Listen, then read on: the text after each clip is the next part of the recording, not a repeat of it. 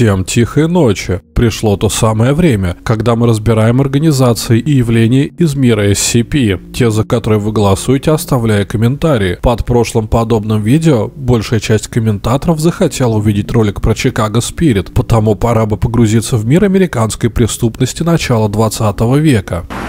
В 1882 году сын иммигрантов по имени Чапел в возрасте 11 лет открыл в себе аномальные способности, убив неизвестным образом разносчика газет по имени Руди Бенсон. Руди ждала незавидная участь, ведь несмотря на то, что его обескровленное тело осталось лежать на пыльной мостовой, сам Руди не совсем умер. Он превратился в аморфную массу из крови и разного мусора из канализации, который фонд SCP впоследствии нашел и обозначил как SCP-4901 один. Маленький Чапл быстро смекнул, что своими необычными силами он может пробить себе путь на вершины мира. И пользуясь этими умениями по искажению реальности, он сначала обеспечил себе вполне комфортную жизнь в криминальном мире Чикаго, а затем и довольно быстро разбогател. Уже через 10 лет он открыл свой первый крупный бизнес – роскошный бар в южной части Чикаго. Однако наливать пиво местным алкоголикам и бандитам ему в итоге надоело. И через 10 лет он собрал небольшую банду, которая полностью состояла из аномальных людей. Эта банда известна фонду как SCP-638. Кстати, раньше этот номер занимал другой объект, но его удалили из-за непопулярности и заменили этим. Банда состояла помимо самого главаря из пироманта, который мог управлять огнем так, как если бы языки пламени были частью его тела. Аномально сильного мужчины, для которого не составляло труда поднять автомобиль или выбить дверь. Третьим в группе был человек, который удивительным образом мог убедить кого угодно в чем угодно угодно. И, наконец, в группу вошли два брата из Китая, которые владели темным искусством томатургии, за счет которого могли творить различные чудеса. Собрав такую команду, Чапл затеял ограбить здание Федерального резервного банка Чикаго. Однако ему не повезло. Узнав, что такие необычные люди грабят банк, на то время только появившийся фонд SCP отправил МОК для того, чтобы поймать этих грабителей. Оперативной группе удалось захватить всех аномальных людей, кроме их главаря, который без следа пропал с места событий событий. После этой неудачи Чапл решил действовать по-другому. Его безумные умения позволили ему создать уникальные артефакты, нарушающие законы мироздания предмета, и в скрытых от глаз комнатах своего питейного заведения он начал ими приторговывать, давая местным богачам возможность потратить свои деньги на вещи с удивительными свойствами. Накопив немалую сумму, Чапл решил стать королем местной мафии, для чего собрал из разных бандитов целую армию, получившую название Чикаго Спирит. Он внимательно тщательнейшим образом отбирал людей, с которыми работал, и, конечно же, предпочитал тех, кто обладал какими-то аномальными способностями. В 20-е годы 20 века США начал действовать сухой закон, и это был настоящий подарок для мафии в целом и для Чебола в частности, ведь все, что запрещено, всегда кормит мафию, и кормит хорошо. Продавать алкоголь стало настолько выгодно, что практически все бандиты США в то время переключились на это занятие. И тогда Чапл нашел свое призвание – незаконная продажа алкоголя. А чтобы иметь преимущество над своими коллегами, он начал создавать аномальные напитки с различными удивительными свойствами. Одним из самых популярных из них был так называемый семейный рецепт, суть которого в том, что это самогон, имеющий хороший приятный вкус, что само по себе аномально. Напитки эти продавались в широкой сети баров, некоторые из которых даже впоследствии стали объектами SCP. Например, SCP-3855. Это бар с антимиметическими свойствами. Никакую информацию о нем невозможно запомнить, если не услышать ключевую фразу. Я слышал про заведение Чапела на Манхэттене. Этот бар оставался неизвестным почти 10 лет, до самого 1930 года. В этом году совладелец бара был арестован полицией, на допросе в которой рассказал и о самом существовании бара и о секретной фразе, позволяющей об этом факте запомнить. Разумеется, после этого бар был поставлен на содержание фонда. Впрочем, фонд SCP решил на этот раз использовать объект в своих целях, и теперь в скрытом от внимания людей баре в Чикаго находится место встречи агентов. Кроме баров в обычном мире, Чикаго Спирит умудрились открыть свои заведения во многих карманных измерениях и мистических местах.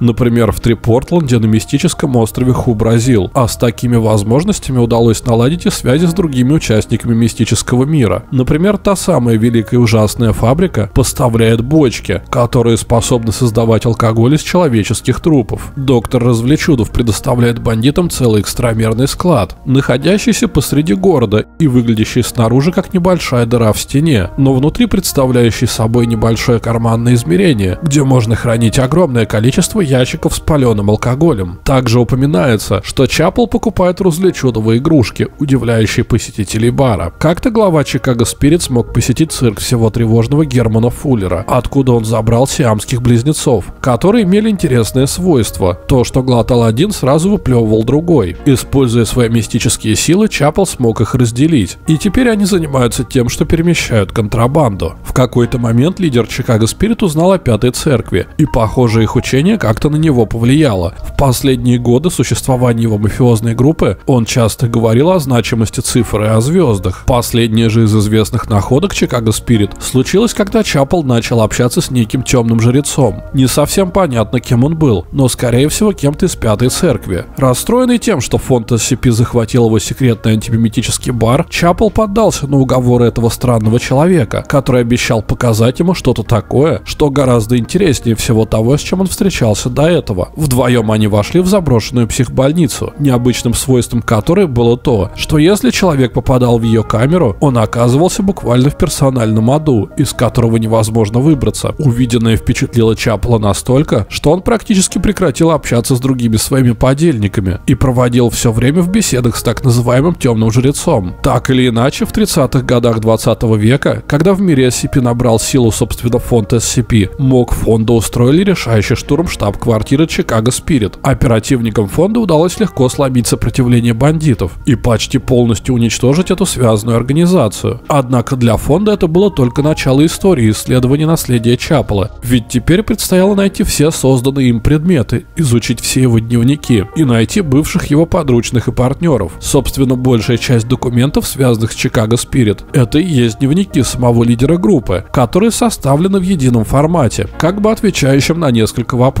Обычно это «что это?», который служит описанием объекта, чем это полезно, кто об этом знает и так далее. В самом дневнике много отсылок к книге Алисы в стране чудес, начиная с того, что аномальные предметы называются в дневнике Кэролы или кролики, а, например, персонажи из вселенной SCP по имени Никто, который, как оказалось, всю жизнь следил за Чаполом. В своих записях он называет чеширским котом. Сдавшегося фонду Чапла одно время хотели начать содержать как объект, но что-то не срослось. По какой-то причине он не продемонстрировал ни одного аномального свойства и только и делал, что травил какие-то непонятные байки. Так он провел все свои оставшиеся дни в беседах с персоналом SCP.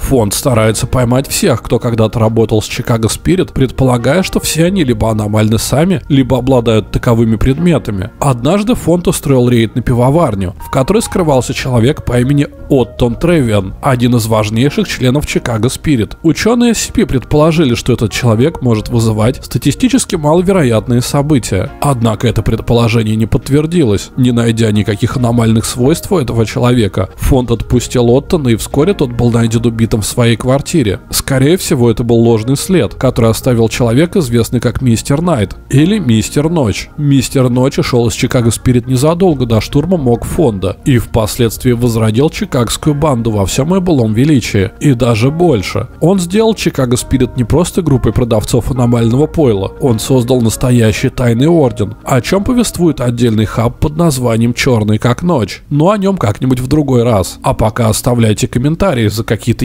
явлений мира SCP, как обычно. За что будет больше, о том и поговорим в следующий раз. Всем пока!